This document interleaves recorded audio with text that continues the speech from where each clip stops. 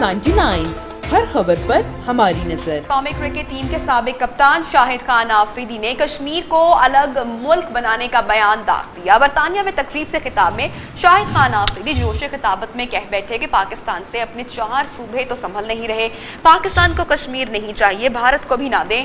بیان پر تنقید شروع ہوئی تو شاہد خان آفریدی نے صفائی دینے کے لیے ٹویٹ کیا۔ کہتے ہیں، بھارتی میڈیا نے ان کا بیان رد و بدل کرتے ہوئے اچھالا ہے۔ وہ پاکستان سے پیار کرتے ہیں اور کشمیریوں کی جد و جہد کی قدر کرتے ہیں۔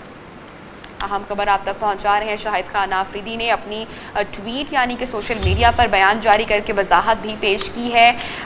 کپتان شاہد خان آفریدی نے کشمیر کو الگ صوبہ بنانے کا، الگ ملک بنانے کا بیان داغ دیا ہے۔ قومی کرکٹ ٹیم کے سابق کپتان شاہد خان آفریدی نے برطانیہ میں تقریب سے خطاب میں جوش خطابت میں کہا کہ پاکستان سے اپنے چار صوبے تو سنبھل نہیں رہے۔ پاکستان کو کشمیر نہیں چاہیے۔ بھارت کو بھی نہ دے جب بیان پر تنقید کا سلسلہ شروع ہوا تو ان کو وضاحت پیش کرنا پڑی اور اپنے سوشل میڈیا ٹویٹر کے اکاؤنٹ سے صفائی دینے کے لیے انہوں نے ٹویٹ کی، کہتے ہیں کہ بھارتی میڈیا نے ان کا بیان رد، ان کو تبدیل کیا ہے اور ان کا بیان تبدیل کر کے اچھالا گیا ہے انہوں نے کہا کہ وہ پاکستان سے محبت کرتے ہیں اور کشمیریوں کی جد و جہد کی بھی قدر کرتے ہیں